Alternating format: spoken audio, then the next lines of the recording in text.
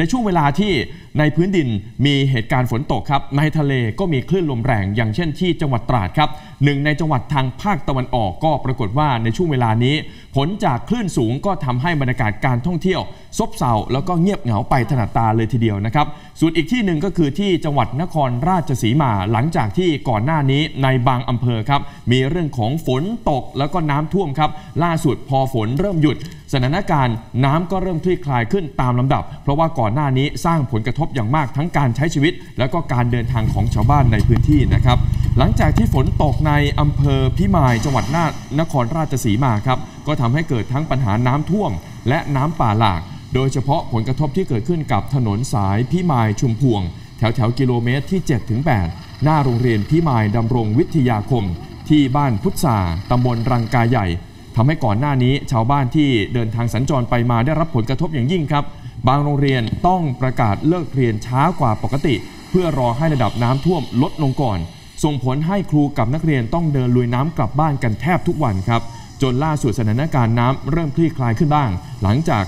ฝนในพื้นที่เริ่มหยุดตก ระดับน้ำก็ค่อย ๆ ลดลงจนใกล้เข้าสู่ภาวะปกติแล้ว แต่ว่าถนนก็ยังคงเปียกแฉะ แล้วก็มีคราบดินที่ไหลมาพร้อมกับกระแสน้ำก่อนหน้านี้ทำให้ถนนลื่น ซึ่งผู้ใช้รถใช้ถนนต้องเพิ่มความระมัดระวังนะครับ ส่วนสาเหตุที่ทำให้น้ำท่วมขังในรอบนี้ ก็เป็นผลมาจากปริมาณฝนที่ตกลงมาต่อเนื่องติดต่อกันนานหลายชั่วโมง น้ำที่ไหลระบายลงท่อระบายน้ำไหลไม่ทัน จึงได้เอ่อเข้าท่วมพื้นที่ข้างเคียง เช่นเดียวกับอำเภอพิมายครับ หลังจากนี้ยังจำเป็นจะต้องเฝ้าระวังต่อ เพราะว่าคาดว่าน่าจะยังมีฝนตกหนักต่อเนื่องไปอีก จนถึงช่วงสุดสัปดาห์นี้ จากที่โคราชนครราชสีมาไปต่อกันที่บึงการครับ หลังจากที่มีฝนตกชุกมาต่อเนื่องร่วม 4 สัปดาห์เกือบเกือบเดือนครับส่งผลกระทบต่อการใช้ชีวิตประจำวันของชาวบ้าน พ่อแม่ผู้ปกครองที่ต้องออกไปรับส่งบุตรหลานไปที่โรงเรียน ต้องลุยฝ่าฝนกับการจราจรที่ติดขัดในช่วงเช้า เช่นเดียวกับเด็กหลายคนก็ต้องเดินตากฝนไปที่โรงเรียน แต่ในฝั่งกลับกันครับในภาคการเกษตรกลับได้รับผลดีจากฝนที่ตกลงมาเที่ยวนี้ อย่างชาวไร่มันสำปะหลังที่ตำบลโนนสมบูรณ์อำเภอเมือง ช่วงเวลานี้เกษตรกรต้องเร่งใส่ปุ๋ยบำรุงต้นมัน แล้วก็จัดการกับน้ำที่ท่วมขังอยู่ในบางส่วนทำลายวัชพืชที่ขึ้นปกคลุมลำต้นที่กำลังเจริญเติบโตดี หลังจากที่มีฝนตกลงมา ก็ช่วยสร้างความชุ่มชื้นให้กับผิวดินบางส่วน เช่นเดียวกับชาวประมงพื้นบ้าน ทั้งฝั่งไทยกับฝั่งสปปลาวที่เมืองปากสันนะครับ ช่วงเวลานี้ครับก็ต้องออกมา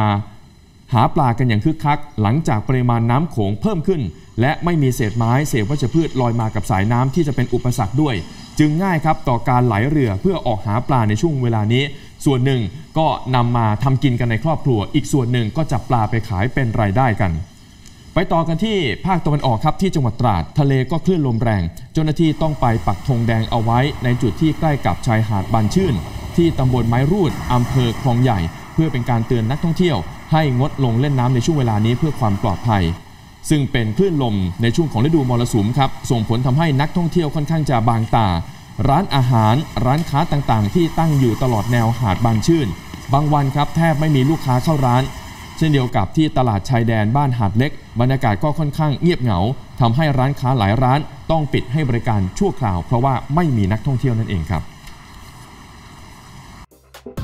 ขอบคุณสำหรับการติดตามรับชมในทีเด็นข่าวค่ำนะครับ อย่าลืมครับ ถ้าหากว่าไม่อยากจะพลาดการติดตาม กดไลค์กดแชร์ กด Subscribe แล้วก็กดที่รูปกระดิ่งนะครับ เพราะว่ายังมีคลิปที่น่าสนใจ รอให้ติดตามอยู่ในข่าวทีเด็นครับ